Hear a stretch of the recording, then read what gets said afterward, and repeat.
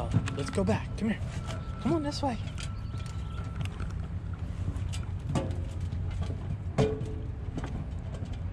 Good boy.